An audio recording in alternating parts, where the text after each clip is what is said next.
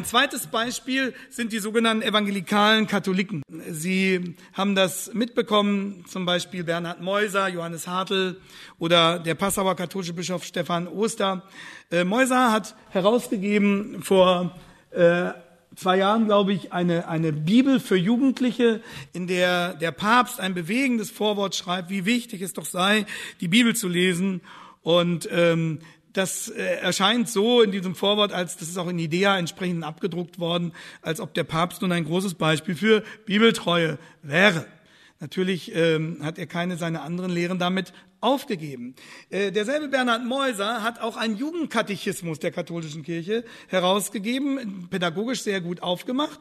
Äh, das Ganze ist natürlich flankiert von anderen, also hier, das ist der ähm, äh, Generalsekretär oder stellvertretende Generalsekretär der Evangelischen Weltallianz, der hier mit dem Papst zusammen Tee trinkt und darüber dann Bücher schreibt. Aber jetzt kommen wir zu diesem Jugendkatechismus äh, von Meuser. Da steht, woher wissen wir, was zum wahren Glauben gehört? Den wahren Glauben finden wir in der Heiligen Schrift und in der lebendigen Überlieferung der Kirche. Also das ist die klassische Position. Das heißt, einmal wird eine, eine neue Jugendbibel herausgegeben. Der Papst schreibt das Vorwort, Leute, die katholische Kirche kehrt sich zur Bibel. Und gleichzeitig wird gesagt, ja, ähm, aber die Bibel ist nur eine, eine Säule der Wahrheit.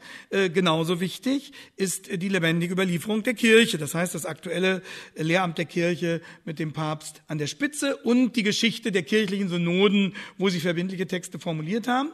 Und dann heißt es in Artikel 13, kann sich die Kirche in Glaubensfragen irren irren. Die Gesamtheit der Gläubigen kann im Glauben nicht irren, schreibt Mäuser.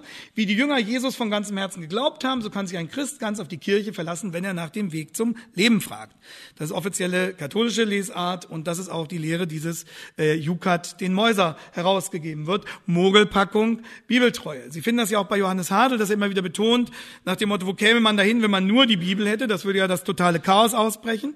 Also sei es schon wichtig, dass die Kirche da ein Wort mitrede und letztlich auch äh, die Richtung vorgebe, in die zu denken wäre. Evangelikale Katholiken, Stefan Oster, Johannes Hartl, ähm, hier nochmal ein Bild von ihm. Äh, wir finden von Johannes Hartl viele Äußerungen, die sehr gut klingen auf den ersten Blick. Er sagt zum Beispiel, der Mensch rettet sich eben nicht selbst, indem er an die Liebe glaubt, sondern es bedurfte des gekreuzigten, auferstandenen Erlösers, um Menschen zu versöhnen, Kindern Gottes zu machen. Klingt doch gut.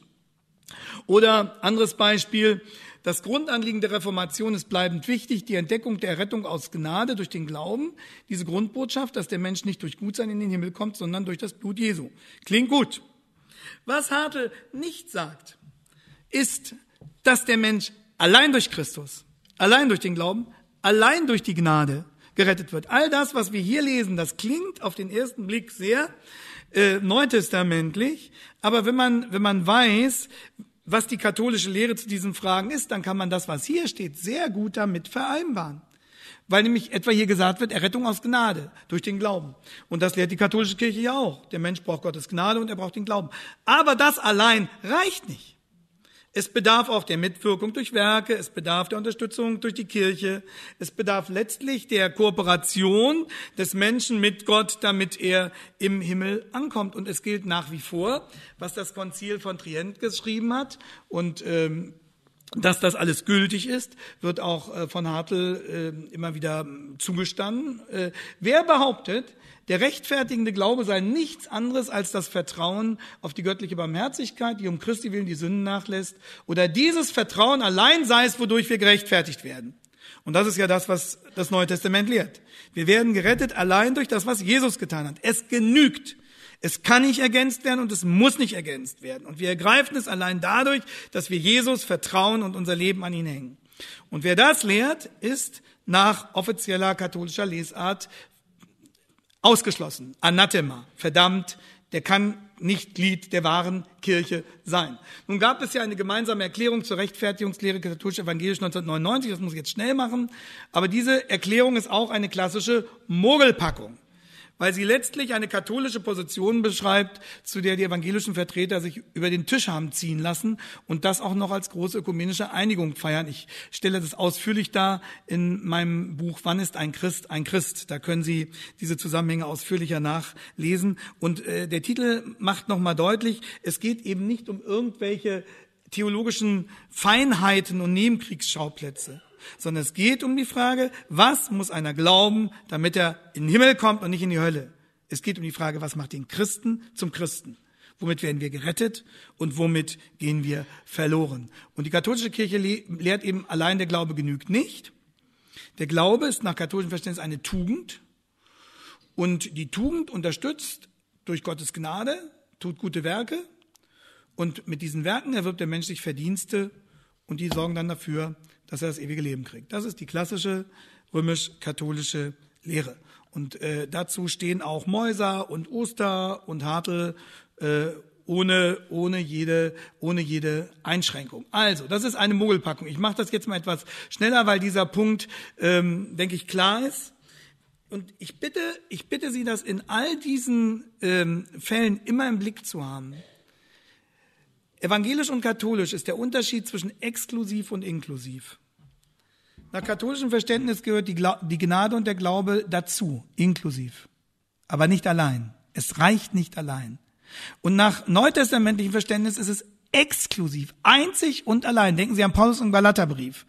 Wer behauptet, dass der Glaube an Jesus noch ergänzt werden müsse durch, in dem Fall war es die Beschneidung, der verliert alles, weil er nicht glaubt, dass Jesus genügt. Und ähm, eine Kirchengeschichtlerin hat das mal sehr gut verglichen. Sie hat gesagt, exklusiv ist beim Orangensaft ausschließlich frische Orangen. Also dieser Orangensaft besteht, ich weiß nicht, was Sie Mittag trinken werden jetzt, ausschließlich aus frischen Orangen und inklusiv bedeutet mit frischen Orangen. Da sind frische Orangen dabei, aber vielleicht auch ein bisschen Zuckerwasser und wer weiß, was da alles noch drin ist. So, und das ist der Unterschied zwischen evangelisch und katholisch. Evangelisch ist exklusiv, allein Christus und nichts sonst. Und äh, im katholischen Verständnis ist Jesus und die Gnade inklusiv. Ja, die gehören schon dazu. Ohne die geht's nicht. Aber sie allein reichen nicht. Okay, ähm, jetzt äh, von der Glaubensbasis der Evangelischen Allianz haben wir schon gesprochen. Ich würde sagen, das ist auch eine Mogelpackung geworden, weil nämlich dort bestimmte Begriffe ausgemerzt sind, die früher mal dazugehört haben. Zum Beispiel der Begriff von der völligen Sündhaftigkeit des Menschen.